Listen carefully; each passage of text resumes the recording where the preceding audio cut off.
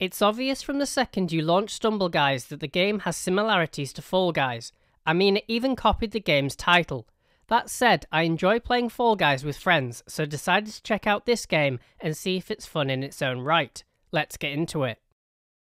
Regardless of whether you want to call Stumble Guys a Fall Guys ripoff or not, the similarities are clear. Both feature knockout rounds made up of a variety of small scale, quick challenge levels designed to eliminate players as you progress through the rounds. In the majority of modes in Stumble Guys, players go through a maximum of three rounds, two elimination rounds, and a final to decide the winner.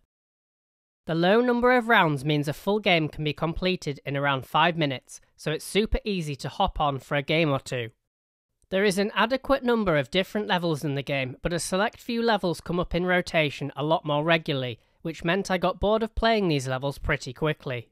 Many of the levels are almost carbon copies of Fall Guys levels, but with less complications and obstacles, which I felt oversimplified many of the levels, so they just weren't as fun as what they've clearly copied. The levels that are more original, however, are actually the best ones in the game, as they provide something we've not seen before. If more unique concept levels could be added, that would be great, as the overall level mix feels rather samey to other party style games at the moment, and it's lacking in levels that make Stumble Guys stand out. Stumble Guys featured a selection of special events which included a Mr. Beast collaboration and currently a SpongeBob collaboration. The Mr. Beast event featured one unique level which was pretty good, but the other rounds were made up from base game levels picked at random, which was a bit of a shame. Aesthetically, the levels look okay but lack the visual pop that you get from Fall Guys or Feather Party, which are far more visually interesting. Due to Stumble Guy's legacy as a mobile game, the controls feel loose and less refined than what I'd expect from a console first developed game. Let me elaborate a bit more on the game mechanics. General movement feels a bit slippery, like you're floating on an ice rink, while jumping and diving are massively influenced by character momentum, which can lead to some unpredictable outcomes. Diving, especially, can cover massive distances if you're up to speed, but also barely any distance from standstill. This, of course, makes sense but the level of variation can cause frustration at times.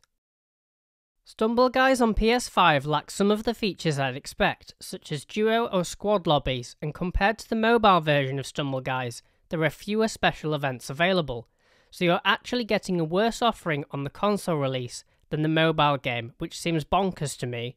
While you can invite friends to lobbies, this isn't quite the same as teaming up with a group of random players. Also, on the same topic, I can only recall one team driven round, which seems odd given the game has a party game theme. Both games I'd compared to Stumble Guys, Fall Guys, and Feather Party both have a wide variety of team based rounds, so the lack of them in Stumble Guys makes it stand out for the wrong reasons.